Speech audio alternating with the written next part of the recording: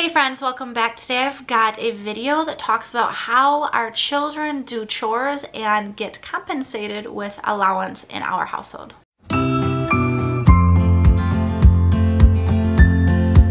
Thank you so much for joining me today. And if you are new around here, I hope that you enjoyed the video. Consider hitting the subscribe button to be a part of our family. We'd love to have you along. As I mentioned, we are going to discuss how we do chores and allowance in our household. If you're not aware, um, my husband and I have two children. Jackson is six and a half and Alice is soon to be five, depending on when this video goes up. She will be turning five on May 14th. So we recently started, I would say in the last six to eight months, we started a chore system in our household. Now, our children have always contributed to the household chores in one way or another, even at younger ages, just whatever they were capable of doing, they helped with. We've always made it kind of fun, almost like a game, and so they enjoy helping most of the time. Our six and a half year old is starting to give a little pushback sometimes because he realizes there are more fun things that he could be doing. But here in our house, what we do, and it may not sound like much, but our kids can earn $10 a month. Yep, $10. That's not a lot of money and wait until you hear how it's broken down. Each week they have chores and I'll get into that in a moment, but they get paid $2.50 per week if they have done their chores well and listened and just kind of, we feel like they did a good job. So that adds up to the $10 per week. The $10 gets split three ways. If you listen to Dave Ramsey, this is going to sound very familiar to you, but we don't follow his um, like the system he has for children like to a T, but that gets split into spend, save, and give. So the $10, $5 each month they get to spend on whatever they want. Sometimes we try to give them a little gentle push into one direction or another, or we remind them that maybe that's not the wisest thing to be spending their money on, but $5 each month they get to spend on whatever they want. And sometimes they'll actually let it accumulate in their little savings account so that they have a little bit more if they have something that they are working towards. The next portion, $4 gets put into savings. That's money they don't get to touch. We're not exactly sure what we're going to be doing with that. Probably just saving it until they are older and using it towards their first car, most likely, or when they graduate high school. And then $1 each month gets put into the give category.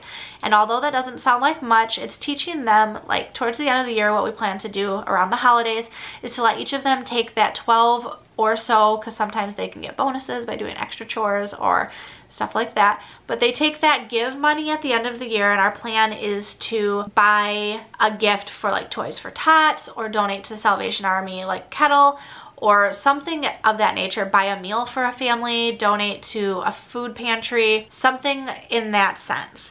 So that's how we split the $10 each month. Now, their birthday money, any money that they get for get for holidays, all of that goes into we do split that between spend and save slightly. Most of it they get to spend because we do realize that that was a gift in lieu of a present, but we do set a few dollars aside to the save category just to help bulk up that savings for them. Our kids do not go without. So all the money that they're spending is on stuff that they don't really need for lack of a better term. And so the spend money is just to try to teach them how to budget their money, that things cost money, the value of money, etc. Some of the chores that the kids do, they alternate weeks. So one week Jackson will have two chores and Alice will have two different ones and they alternate the next week. The chores that they alternate between are loading and unloading the dishwasher to their capability, glass plates, glass mugs, etc. are put away by myself. Anything that they can't reach to put away, I will put away. But for the most part, they unload the entire dishwasher as much as they can and I will take care of the rest. Loading the dishwasher um, isn't as much because I tend to just load it after each meal, but they load their own dishes in after their meals and they do know how to load. The second item that they help with is to sweep or vacuum the floors downstairs in our main living space. We do have hardwood and so we have a vacuum or they use the manual like hand broom and they do a pretty good job at that. Alice particularly really loves that chore. She will sometimes do it just because. She actually prefers the hand, like the regular old school hand broom and then she does the vacuum. And I will leave a link down below to the Dirt Devil vacuum that we use. It's a pretty good price. It's a little bit noisy. It works for what we need it for. The next chore that they help out with is to clear the dinner table. Now this means that they will clear all of the items off the table that do not belong there.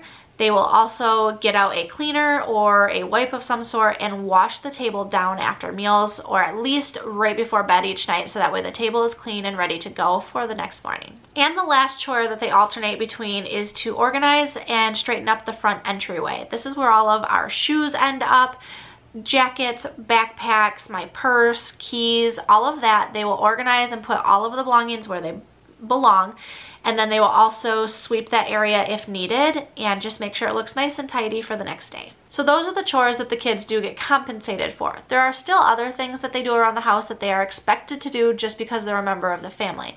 Some of those items include cleaning up their toys both upstairs and downstairs, taking care of their dirty clothes when they get dressed in the morning and at night when they get their pajamas on, brushing their teeth in the morning and in the evening. So these are just gentle reminders of these are things you need to do both for your own health and also because they're your your items. They're your responsibilities. It's not mom or daddy's job to pick up your toys. You are both plenty old enough to put toys away. You're plenty old enough to take care of your laundry. On the topic of laundry, the kids also help with laundry. Now, this is not something that we do every day in our household. So whenever it's a laundry day or whenever I have laundry going, I will ask one or the other of them, depending on what they're doing, to go ahead and either put a load into the washer and I will assist in putting soap in. And then I will ask them to switch the laundry from the washer to the dryer because they can do that all on their own and start the dryer without any assistance whatsoever. And then also pull laundry from the dryer into the laundry basket and take it into my room to be folded. So they can almost do laundry start to finish on their own at the ages of five and six, basically. And they've been doing this about, they've been helping with laundry for quite a while. But they've been doing this much involvement for about the past, like I said, six to eight months. So it's really kind of nice that I'm teaching them that now, I feel like. So as they get a little bit older, they will be able to take care of their own laundry on a weekly basis, even folding and putting away once we get to that point. Those are the chores that they are expected to do, both the ones that they are just expected to take care of and then also the ones that they get compensated for. And then they can also earn bonus money from us to get paid into their spending category if they go above and beyond and help out with other tasks around the house. So for example, last week or the week before, they were both very much in a cleaning mood and Alice was cleaning windowsills and wiping down windows, scrubbing tough spots on the floor that don't always get picked up with the mop. Jackson was cleaning upstairs and wanting to vacuum and cleaning the bathroom counters and the bathroom mirrors. So they really went above and beyond. When we were up north visiting family over spring break, Alice took it upon herself. She asked if she could wash my mom, so grandma's dishes.